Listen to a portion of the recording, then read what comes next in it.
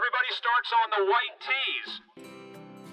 If you make a birdie, you move back a set of markers to the blues. This is this the honor system? This is the honor system. Okay.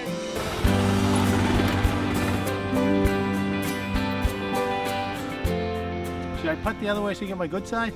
No way. Well, we started this because we had uh, a lot of our brothers that passed away very young age, and uh, nobody seemed to know why.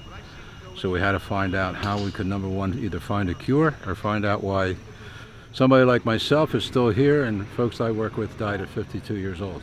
It's known as the asbestos workers disease.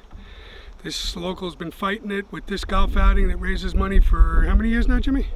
20 years. Some people can work with asbestos their whole lives and, and not be affected by it. Other people just takes that uh, that one fiber, and, and that's what we're trying to figure out a way to, to reduce that.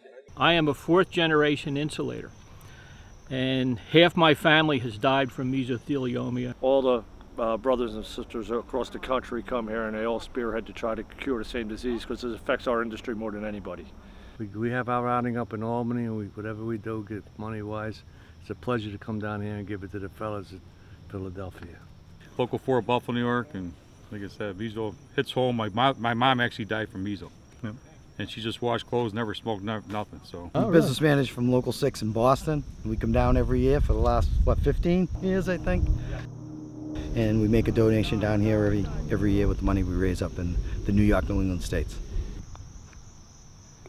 My dad died of uh, mesothelioma, and uh, that's why I'm here and, and uh, support the cause. Thanks to the doctors and the wonderful care I got up here, I've shown non-detectable for the last 15 years as far as cancer. And that's why I come and try to do everything in my power to promote and carry on the good work that Fox Chase is doing. Dr. Testa, who, when we started, he understood what we were looking for, and our goal was to have somebody research this dreaded disease. And fortunately, Dr. Testa got on board and has been doing it for 20 years for us. He's the one guy who understood what we have, and now it's a national thing. Everybody understands. But he was the first one to get on board with us, and that was our goal to get one guy to research it, and that's what we're trying to do.